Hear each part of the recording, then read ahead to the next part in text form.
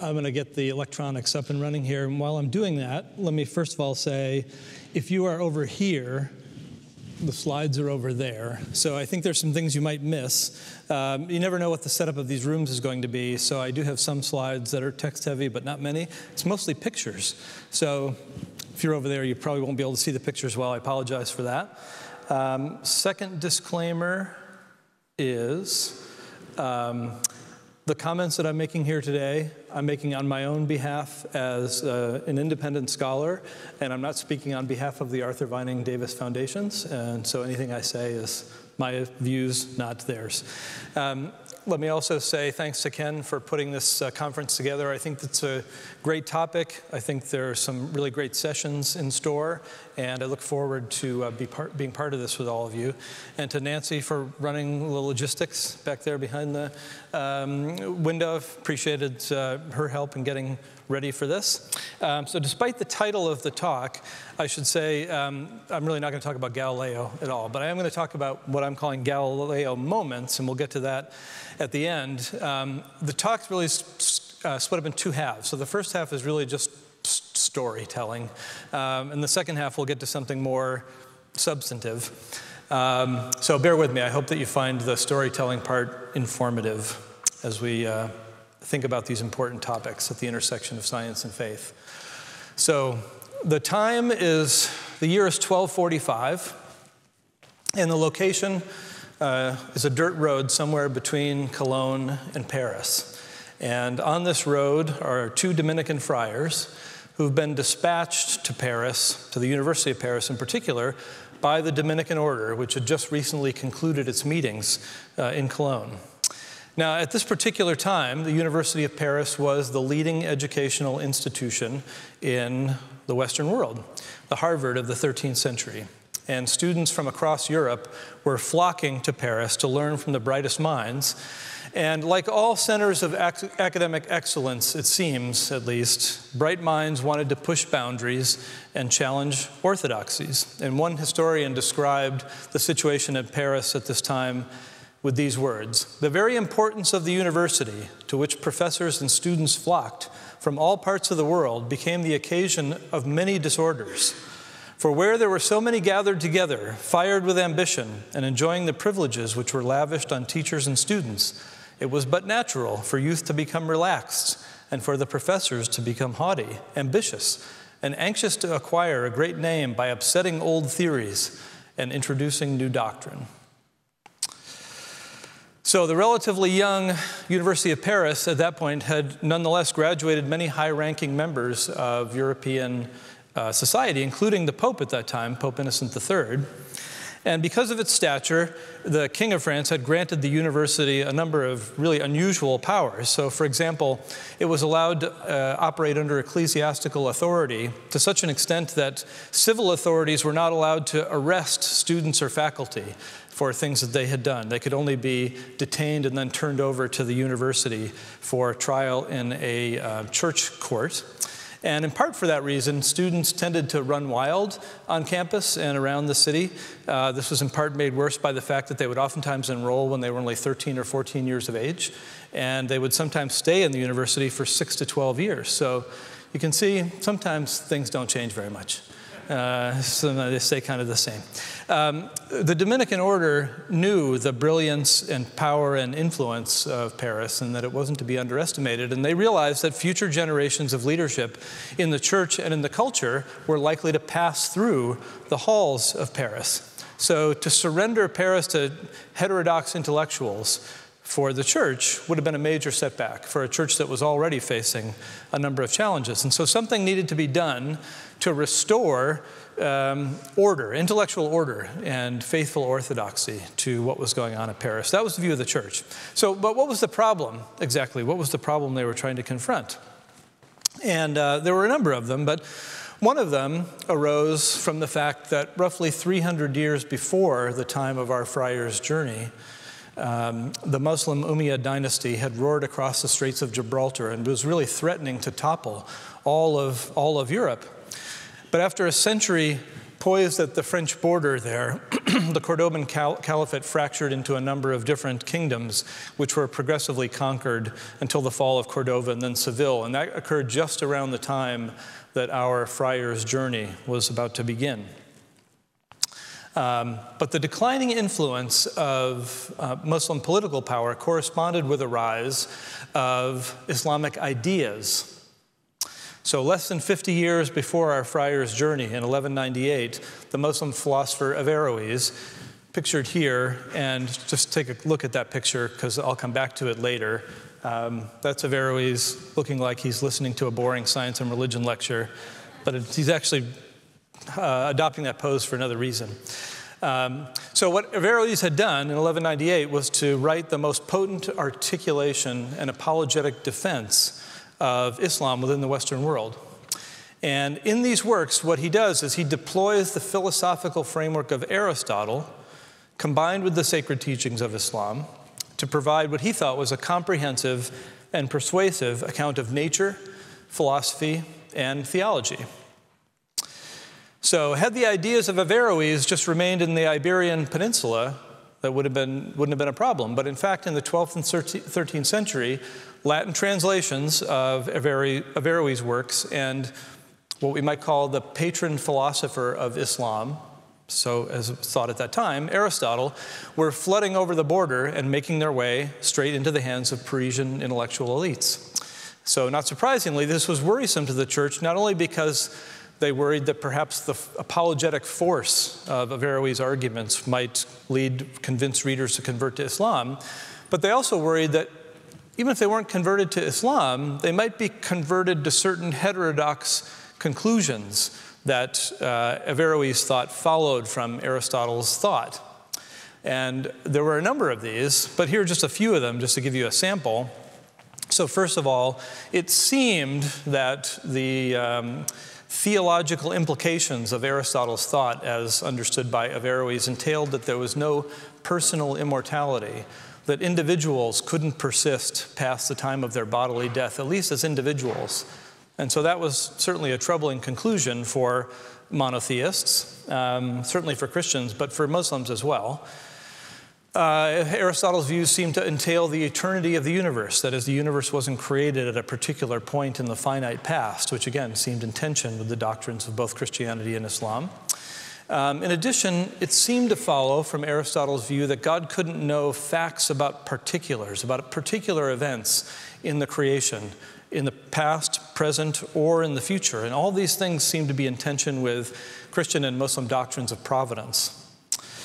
So these are some really troubling claims that seem to follow from Aristotle's views as they were incorporated into um, the Averroistic picture. And many Islamic thinkers recognize the theological challenges associated with this. So uh, some Islamic thinkers who preceded Averroes realized that these conclusions followed from Aristotle's thought, and they scolded some of their Muslim peers for following this Aristotelian line of thinking. So the famous 12th century Persian Muslim scholar Al Ghazali um, took these views to task in a book with the no nonsense title, uh, The Incoherence of the Philosophers. And of course, Averroes comes along a few years later and writes his reply, The Incoherence of the Incoherence. Um, so the battle continues between these different schools.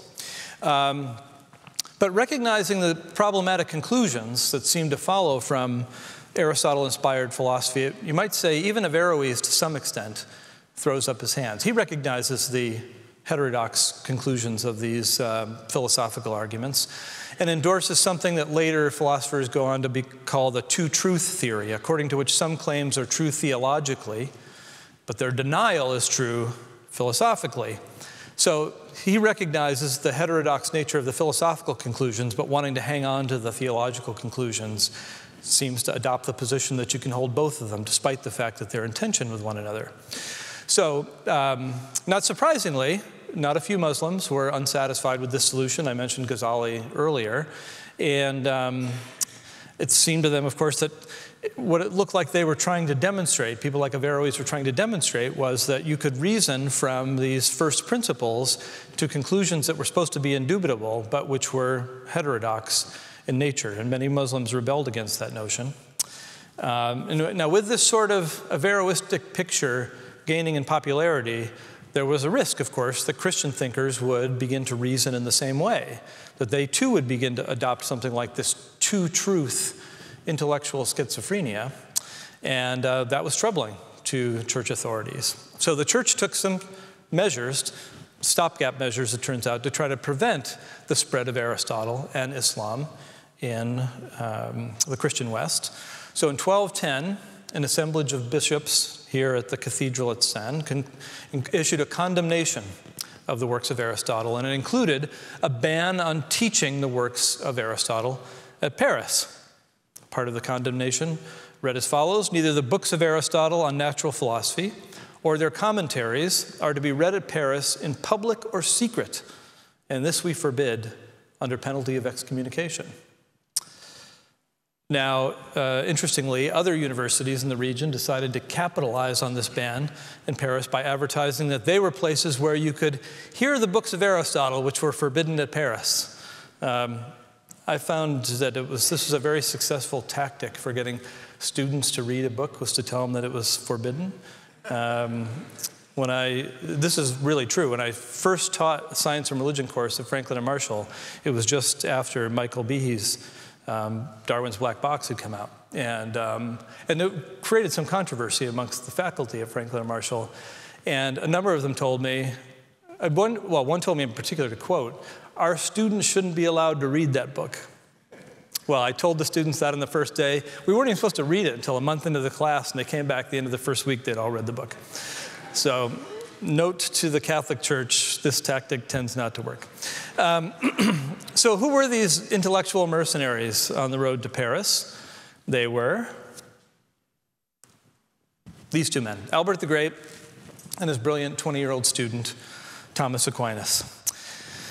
Now, no one actually knows what Albert and Thomas talked about on their 325 mile journey on the dirt road from Cologne to Paris. But it seems likely, given the charge that they had received from the Dominican Church, that they were strategizing about how to reverse the unorthodox trends that had taken hold at Paris. Um, the books of Aristotle had been banned. They knew that. The books were still being read and even taught in the classroom, and they, and they knew that. So, what to do? Well, the easiest route here would have been to try to re embrace the philosophical system of Plato, the system on which Augustine had built his theological and philosophical edifice, and to try to enforce that sort of thinking in Paris. That would have been the fastest way to kind of shut down these heterodox uh, directions of thought and to restore orthodoxy. But as many of you know, that wasn't the, that wasn't the path that they followed. So, what did happen? Well, what did happen was St. Thomas set out to teach Aristotle. Um, but this wasn't a mere tactic. What St. Thomas thought he could see uh, was the same thing that he, the Muslims and the heretics saw. That is, that Aristotle provided a powerful system of thought that seems to get many of the facts right, that had impressive explanatory power, and that provided scaffolding for developing deep theological insights. Thomas thought that those three things were true of Aristotle's thought, and he wanted to show that. Uh, he thought that it could be shown, and it could be shown in a way that was faithful to Christian thought. So he began this long and vigorous intellectual career in which he penned works that were specifically aimed at showing that the heterodox conclusions didn't follow and that Aristotelian thought didn't support a distinctively Islamic theological outlook. So, for example, he writes his four volume Summa Contra Gentiles, which was written in part to show the errors of the reasoning of those who were drawing Muslim or heterodox conclusions, and to provide a positive apologetic for the Christian faith based on Aristotelian philosophical principles. And he also undertook to write his own magnum opus, which provided a fully articulated systematic Christian theology grounded in Aristotle's metaphysics and epistemology. Now, this is a painting, uh, I know it is hard to see because it's small and the room is bright, Uh, it's a, the 15th century painting by Gozzoli called the Triumph of St. Thomas. There are many paintings from the late Middle Ages with the title The Triumph of St. Thomas, and usually has St. Thomas in the center. And, um, and what you have underneath here, that's our Averroes from before. Remember, he was, looked like he was listening to the boring lecture. That's not the reason he was holding that pose, it's because he had been debunked by St. Thomas. That's what this painting is supposed to show. So when, by the time you get to the 15th century, when you get paintings like this, and Thomistic thought has really become the dominant force, or a dominant force in, in Catholic thought, um, the triumph of St. Thomas you might think is complete. But that's not actually the way it happened. After Thomas begins his career of writing and teaching, uh, there's not a revival there's no immediate return to orthodoxy or anything like that. And in fact, as many of you probably know, his views weren't embraced even in his own lifetime. And in fact, just three years after his death, uh, the Bishop of Paris, at the urging of the Pope, uh, once again sought to condemn certain teachings of, quote, some scholars of the arts and the faculty of theology at Paris. And um, while the targets of these condemnations are still in some dispute today, it's reasonable to infer that many of the 219 propositions that were condemned by the Bishop of Paris in 1277 were views of St. Thomas himself. So the revival didn't take place as one might have um, hoped, certainly if St. Thomas had hoped. Um, but the blow to St. Thomas and his work was short lived. This is another um, painting, this one from uh, the 13th century, called The Confounding of Averroes. And you have uh, St. Thomas uh, holding forth uh, at the podium there. And Averroes looks like he's been knocked unconscious, uh, laying on the floor there with his books laid out in front of him. Um, the blow to St. Thomas and his work was, was short lived. The condemnations were later lifted. And the intellectual shifts that Thomas had precipitated became instrumental in bringing about major future developments, including, so I say, although Peter might dispute, um, the scientific revolution. I think that really puts us on, a, on an important intellectual path. Um, okay, so wh- why, am, why am I telling you this story? Why is this story relevant to thinking about contemporary uh, interface between science and Christian faith?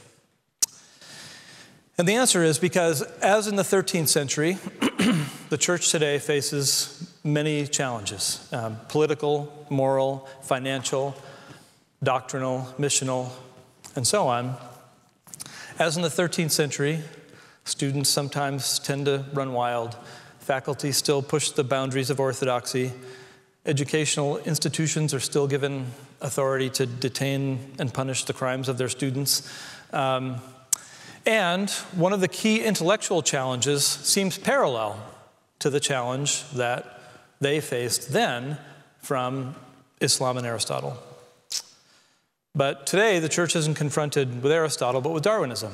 Darwinism and evolution seem to provide a challenge analogous to the challenge that the church confronted with Averroes and um, Aristotle. So, like Aristotle and Islam, Darwinism we, some think, provides the intellectual scaffolding for this position, the maybe the ideological archenemy of the church, the new, new atheists. And as in the 13th century, Christians who engage Darwinism, if they're not converted to atheism, sometimes seem to reason from it to heterodox conclusions. Um, and as with Averroes, some are trying to promote theological schizophrenia by recommending a version of the two truth theory. I think that's what you get in Stephen Jay Gould's non overlapping magisteria. You can have them both, right, as long as we keep them in separate buckets. Um, so we're facing something that is quite similar. But we don't have Thomas Aquinas, um, so we need a different solution.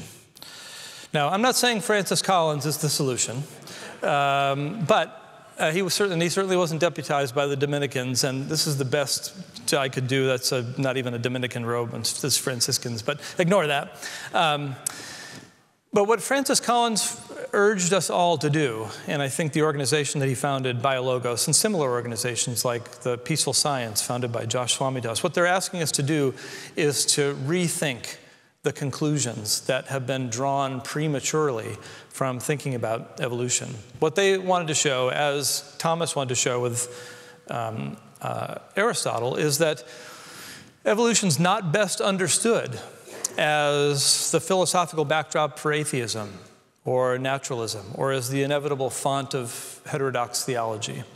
Instead, evolution's a power powerful framework, theoretical framework, that gets many of the facts right, that has impressive explanatory power, and that provides scaffolding for developing deep theological insights.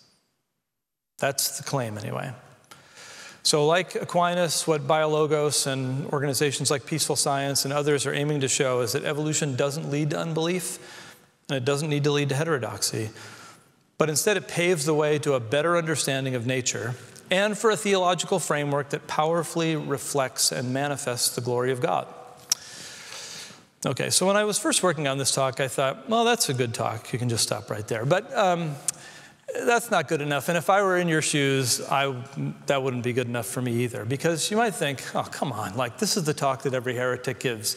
You know, you point back to some episode in history where somebody was um, looking at a system of thought that seemed to have heterodox conclusions. They kind of reasoned through it, showed that it didn't have those conclusions, everything worked out fine. So, no reason to worry, right? But that's not good enough because I think what I owe you is something a little more. Uh, I need to show you that, in fact, the supposed heterodox conclusions don't follow, right? The summa contra gentiles. Um, and I need to show you at least, or at least gesture in the direction of some of these, what I'm calling new theological insights that emerge from this picture, if it's in fact true. So we don't have all day uh, to do this, so I'm just going to gesture at this. And, um, but of course, we have more time in Q&A and in the panel discussion if you want to follow up on any of these. So um, what are some of the supposed challenges to orthodoxy that are entailed by evolution? And I'm sure I could just have you raise your hand and you could shout them out, but um, let's instead uh, take a look at just these four, okay? So, um, one is it's claimed that evolutionary thinking or Darwinism requires or leads to an affirmation of deism. A second is that it leads to denying God's role in the creation of humanity. A third is that it leads us to deny the historical Adam. And a fourth is that it leads us to affirm the existence of a creation that's driven by nature red in tooth and claw. Now, you might say, well, that wasn't my objection. Um, all right, well, you'll have to save that for the Q&A. Uh, I'm sure there's a much longer list. But I want to at least walk through these four, okay? So let's look at the first one. Affirming deism. So does evolution entail, or at least make more likely, a deistic picture whereby God creates the world and is then hands off? And I think the answer to that question is absolutely not. Um, evolution does fit comfortably with the idea that God aims for biological processes to unfold according to natural laws via natural processes that God created to govern the cosmos. That's true. It does fit comfortably with that idea. But God uses natural processes unfolding via natural laws in meteorology and no one thinks that the weatherman is championing deism, right? There's nothing wrong with that.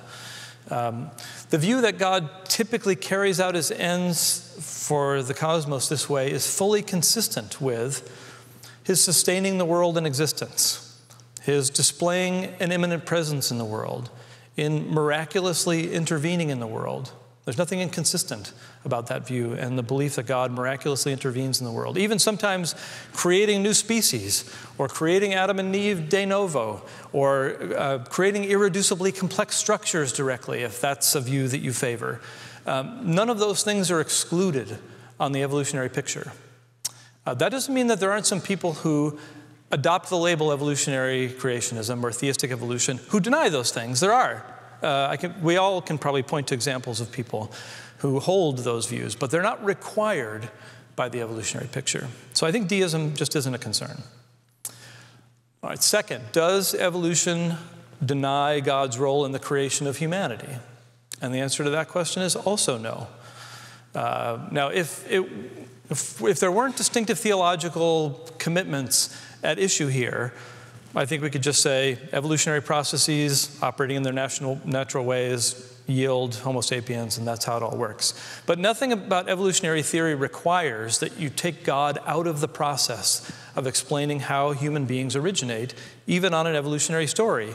It's perfectly compatible with an evolutionary story that God creates evolutionary processes, he provides them with a teleological directionality. I'll say something about that in a minute.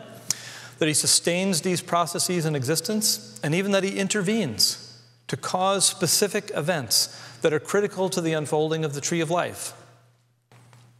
Or that he manipulates the genome of Adam and Eve's ancestors or creates them de novo. All those things are compatible with an evolutionary story. Again, there are people who label themselves uh, theistic evolutionists who deny those things, but the view itself doesn't require a denial of those things.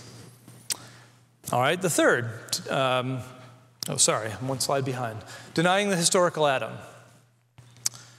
So, uh, does evolutionary theory require the denial of a historical Adam and Eve? Let me be, um, as you probably know, there's been a lot of discussion of this topic uh, in recent years, and even more recently with the publication of Josh Swamidass's recent book.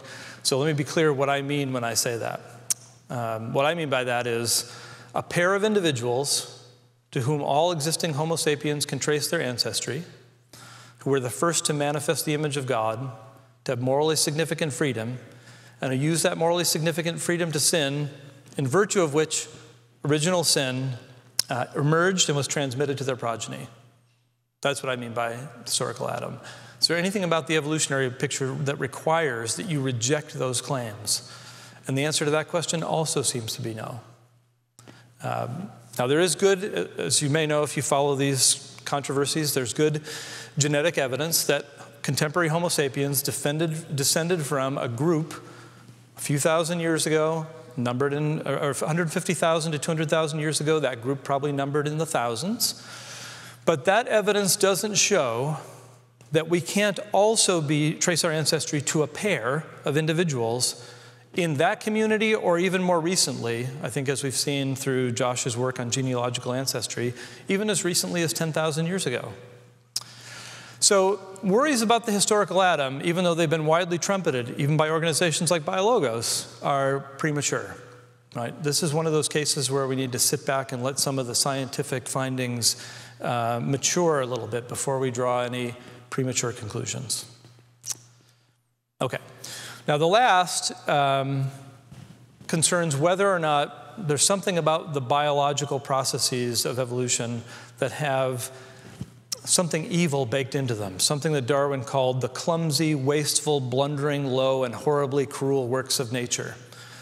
Uh, is there something inconsistent about an evolutionary process that seems to have these features with the creation being the creation of a holy, good God?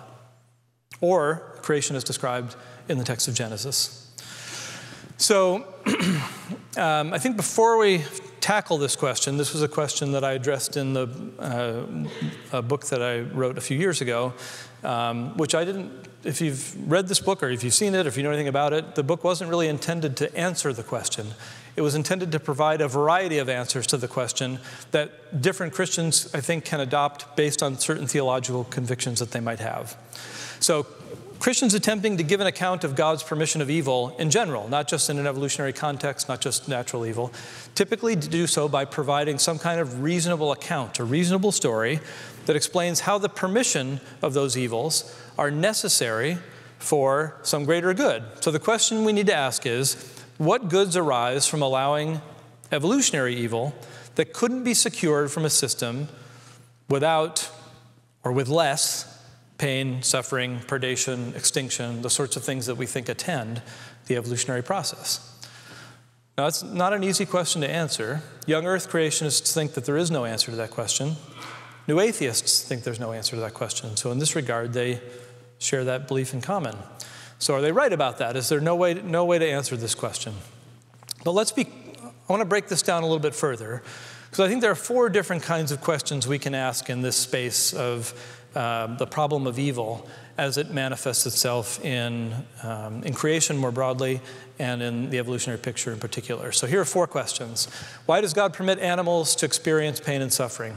How can we explain the reality of pain and suffering if it's not a consequence of the fall? Is animal pain and suffering an intrinsic feature of an evolving creation? And last, what goods come from permitting the animal suffering we find in the evolutionary picture? That is, what goods which could justify God's permission of that suffering? Okay, so I want to run through these quickly. So, first, why does God permit animals to experience pain and suffering? I mean, the first thing to say about this is this is not a question that's distinctive of the evolutionary position. Right? Every position holds that there are, any position that holds that there are non human animals and that those non human animals experience pain and suffering have to deal with this question. So, whether you're a young earth creationist or an advocate of ID or an old earth or whoever you are, this is an important question in theodicy. You need to address it but it's not distinctive of an evolutionary position.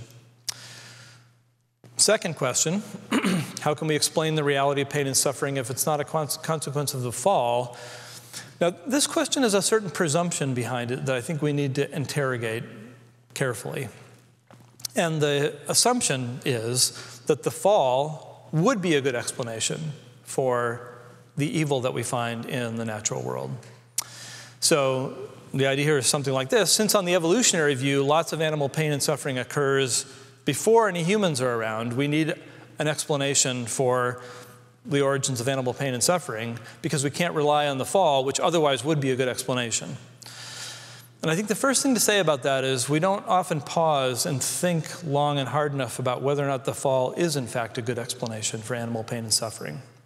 So remember that the goal is to give an explanation a morally sufficient reason for God to permit some evil to occur. That's what we do when we're thinking about questions of theodicy and the problem of evil more generally. An explanation where permitting some evil is necessary for bringing about some outweighing good. Right? So, what is it on the fall account? What is this, what is this greater good that's supposed to uh, explain the permission of the fall? What's the greater good that's supposed to explain the permission of the fall?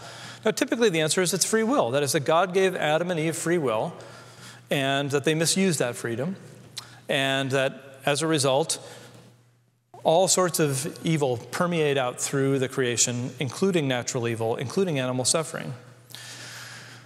But the strange thing about that view, the undefended, what I'm calling the undefended assumption, is what would explain God's making the creation in a way that's so fragile Right? On, this, on this story, the integrity of nature hangs on the moral uprightness of a pair of, of hominids. Their doing wrong has these cataclysmic consequences that ripple out ac- across the creation. But why is that a good feature of a creation? That it have this sort of what I'm calling fragility, where the wrongdoing of this pair has such catastrophic consequences for so many millions and billions of innocent creatures. If we're going to rely on the fall theodicy, we need to think through that. We need to have a good answer to that question, and I don't think there are good answers to that question. So, I think the fall is not a good explanation for animal suffering after all. That doesn't mean we don't need another. It doesn't mean we don't need an explanation, but I think what it shows is that everybody needs one. And we'll have to provide one in the context of evolutionary thinking as well, and we'll get to that in the fourth question. Okay, so the third question is animal pain and suffering an intrinsic feature of an evolving creation, or extinction, or predation, or all these other features of um, the evolutionary story that we think of as having some kind of negative connotation? And we could spend a long time on this, and I don't have time to do that, so I'm just going to say some things very quickly that if you want to follow up in Q&A, we can do that. But the short version of the answer to the question is no. So there's nothing about the evolutionary picture that requires animal pain and suffering, or even death and predation. Um, those features are features that are required of a, um, a natural environment that's finite. So when you have a finite space within which life can develop, you need things like death and extinction because you need replacement. There are finite resources that can be deployed. If we had an infinite space on which life could evolve, there wouldn't be any need for those things. Organisms wouldn't need to die. Organisms wouldn't even necessarily need to eat one another. Um, they could continue to spread out infinitely, but we don't have that. We have a finite space. So, one question we need to ask ourselves is well, why do we have a finite space on which life can evolve? And the answer to that question is probably because the universe needs to be fine tuned in a certain way for life to emerge, and that fine tuning seems to require that we inhabit finite spaces. That's a very abbreviated uh, account, I understand. Uh, I'd be happy to say more about it later. But I think it at least takes the, um, uh, the, the punch out of the claim that somehow there's something about evolution itself which requires these intrinsically bad features, and that that's a reason why we should resist adopting the view that it's God's mode of creating the complexity and diversity of life. Okay, and the last, so what good could come from permitting the kind of animal suffering we find in evolutionary processes? What should we think about that?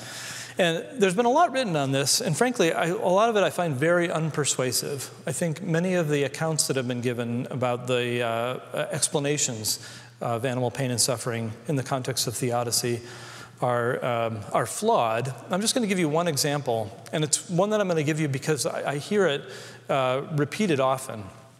And so, on this increasingly a popular position, I think, um, natural evil isn't caused by moral evil as we have on the fall, right? There's something about the, the wrongdoing, the free wrongdoing on the part of Adam and Eve that leads to this pervasive natural evil.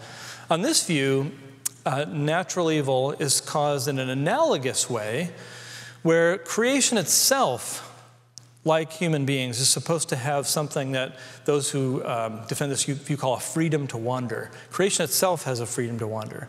And that leaves it open to the possibility that it wanders in directions that involve natural evil. So, John Polkinghorne, who's one of the defenders of this view, says God has created this amazing universe so that life can evolve and come into being, endowed with the true freedom required for love. This entails giving a certain amount of freedom to the physical processes and a process of creative destruction via evolution. And this is a view that's defended also by Francis uh, Collins and Karl Giberson in their book, The Language of Science and Faith, and by others as well. Um, but there are problems with this view. Um, so let me just mention three quickly. First of all, despite the label, um, at least I would argue, the non conscious creation isn't free. It might have contingent features, it might have features that are unpredictable, and certainly those things are true of events that are free or caused by free agents, but that's not what freedom is.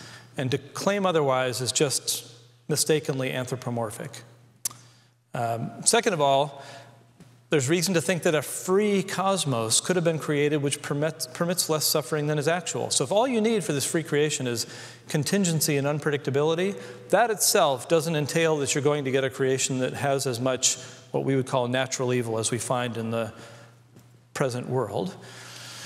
And third, even if one and two can, even if we can resolve those, um, you have to ask yourself this question Is the good of a free cosmos does that outweigh the massive suffering that it's supposed to justify on this account?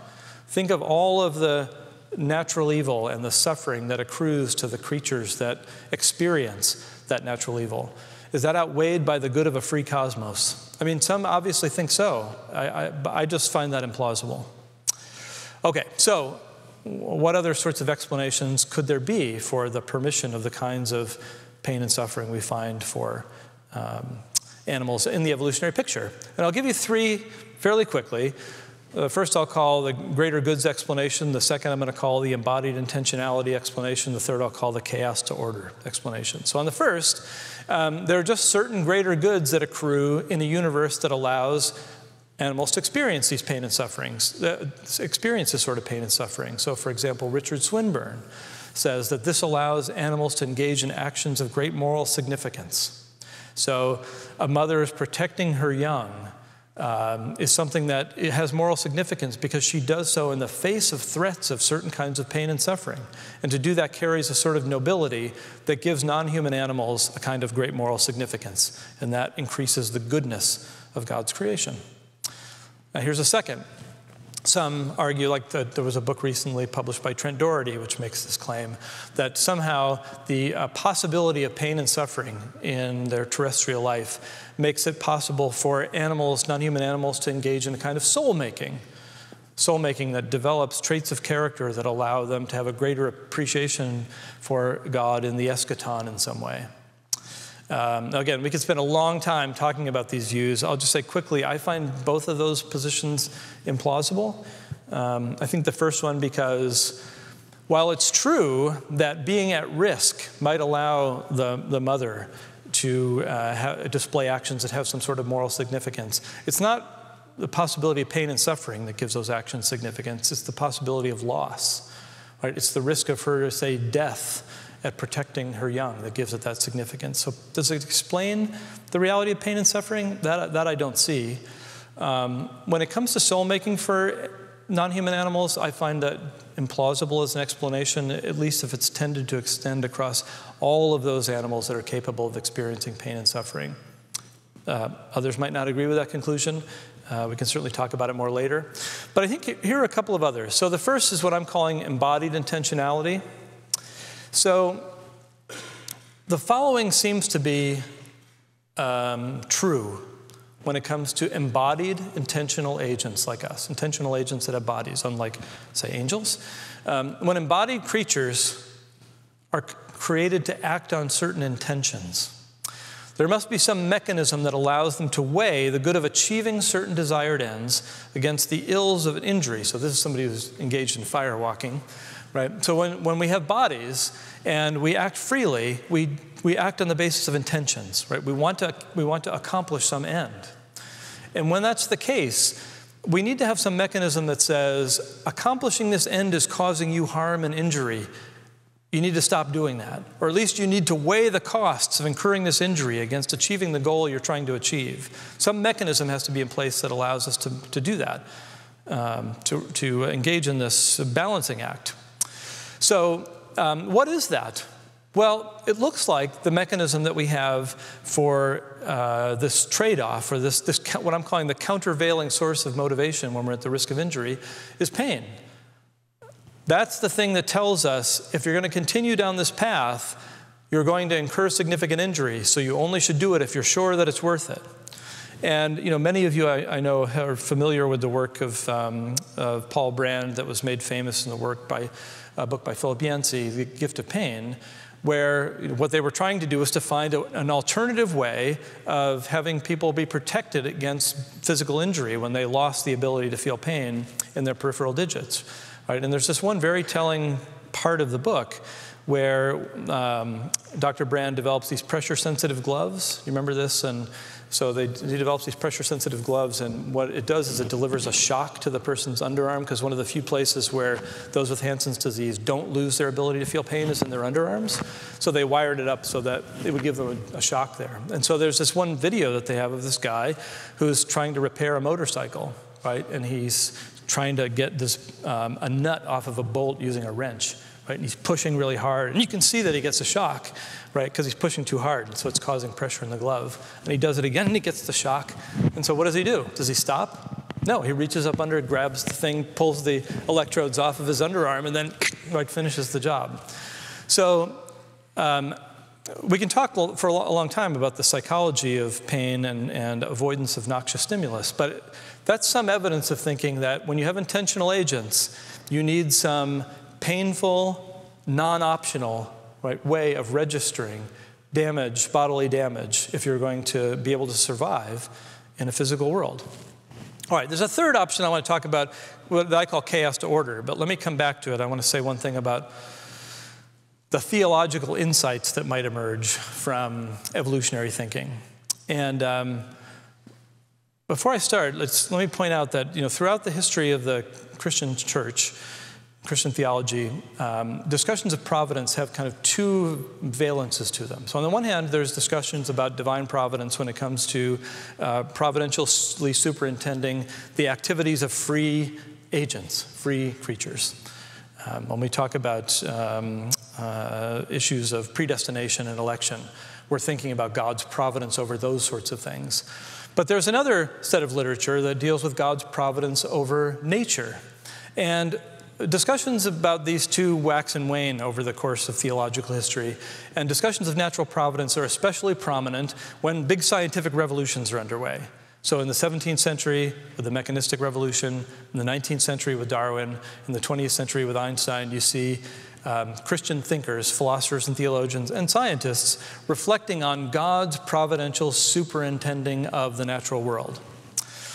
Um, so during the mechanical revolution in the 17th century, what you find is that Christians are propose, many Christians are proposing this model of natural providence, where God orchestrates the conditions of nature to achieve his ends through creatures' law-governed display of their powers. The, this is the clockwork universe picture, right, where God is cast as the perfect engineer, or the perfect craftsman, or the perfect architect. And so Robert Boyle, you will never be able to read this next slide because the text is way too small, but let me read it for you. Robert Boyle, you know, describes natural providence in this way. Proponents of the pre-mechanical philosophy, pre 16th, 17th century philosophy, he says, seem to imagine the world to be after the nature of a puppet, whose contrivance indeed may be very artificial, but yet is such that almost every particular motion of the artificer, artificer is fain to guide and oftentimes overrule the actions of the engine. Whereas according to us, it's like a rare clock, such as maybe at Strasbourg, where all things are skillfully contrived to that engine being once set in motion. All things proceed according to the artificer's first design, and the motions of the little statues that at such hours perform these or those things do not require, like those of the puppets, the particular interposing of the artificer or any intelligent agent employed by them, but perform their functions upon the particular occasions by virtue of the general and primitive contrivance of the whole engine, right? The great clockwork universe. So, this language wasn't often used to describe the biological domain at this particular period, but in the wake of Darwin, you start to see the same language used about the biological world. So, here's a quote from arguably the most famous preacher from the late 19th century, Henry Ward Beecher, who says this If the single acts of creation would evince design, how much more a vast universe that by inherent laws gradually builds itself and then creates its own plants and animals, a universe so adjusted that it left by the way the poorest things and steadily wrought towards more complex, ingenious, and beautiful results. Who designed this mighty machine? Created matter, gave its laws, and impressed upon it that tendency which has brought forth the almost infinite results on the globe and wrought them into a perfect system. Of course, he thinks that's the creator.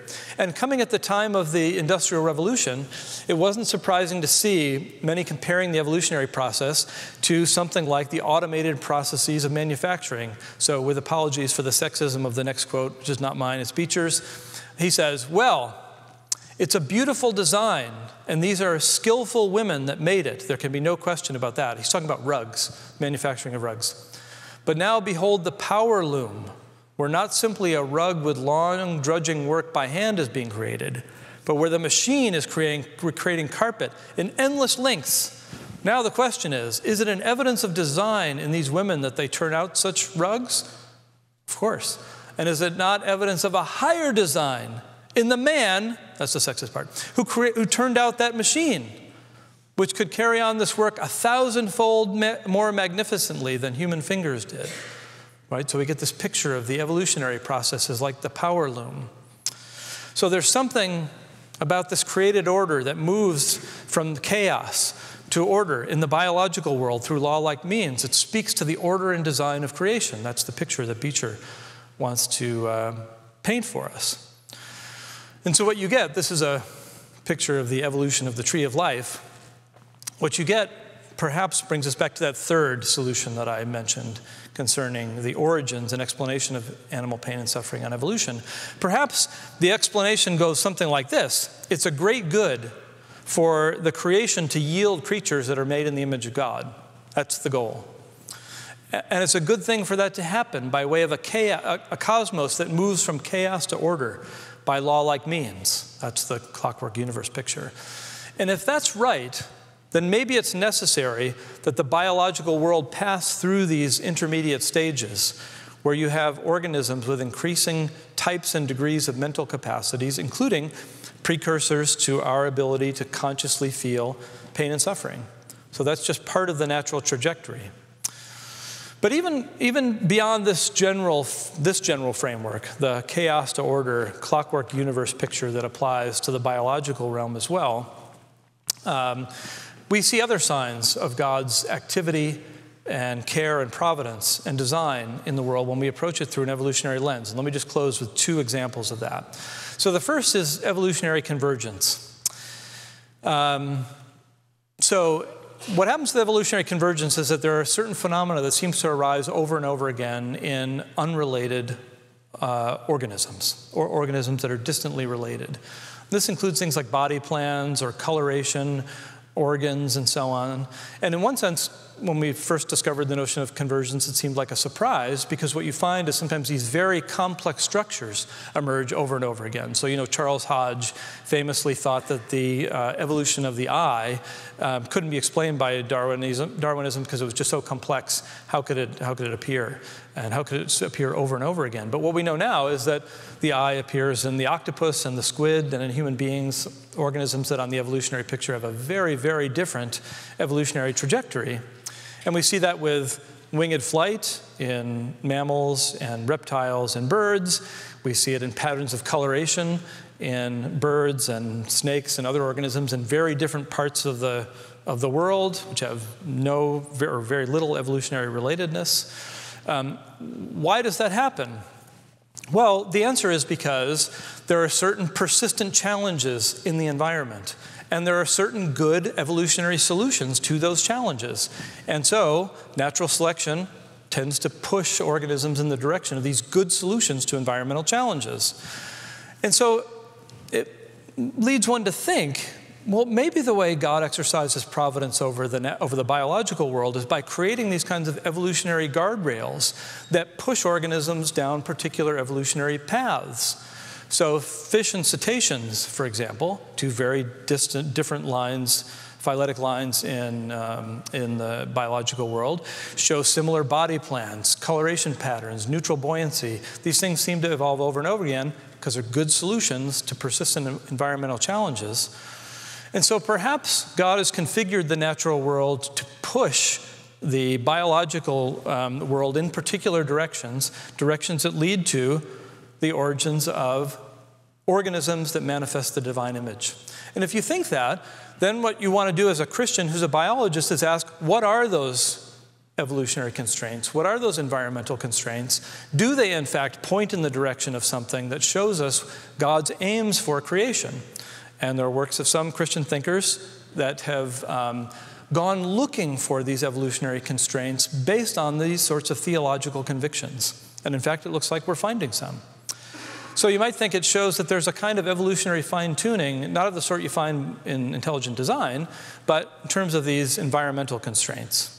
Okay, one last example, and this is something that many of you may be familiar with, and that is some recent fascinating work on the evolution of religion and religious belief. So as you go across times and cultures, you find that everywhere you go, human beings are religious. And secular scientists find this puzzling because they don't know how to explain how this phenomenon can emerge over and over again in these very different lines. How do we explain that? So here's one explanation. You might say, well, look, there is a spiritual reality.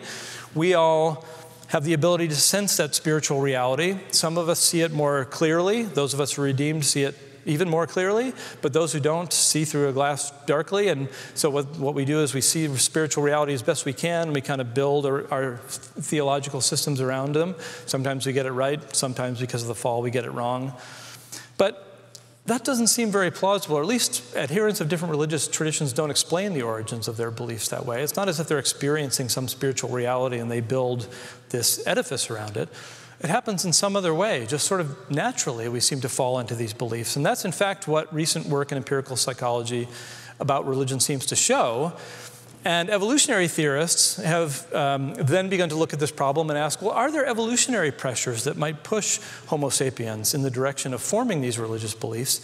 And there are actually some really interesting and intriguing hypotheses that seem to answer that question in the affirmative. Yes, there are good evolutionary reasons why we would, we would evolve these dispositions to believe in the existence of God. So, one very popular hypothesis these days, sometimes called the supernatural punishment hypothesis, where human beings that have formed these dispositions to believe in the existence of invisible moralizing agents are better able to cooperate with one another and therefore are more likely to uh, survive so, in other words, If you believe that you get what's coming to you and that God's in control, that's, a, that's adaptive from an evolutionary point of view, and therefore we, we, that's the explanation for why we see this, uh, these religious beliefs coming to be across times and cultures.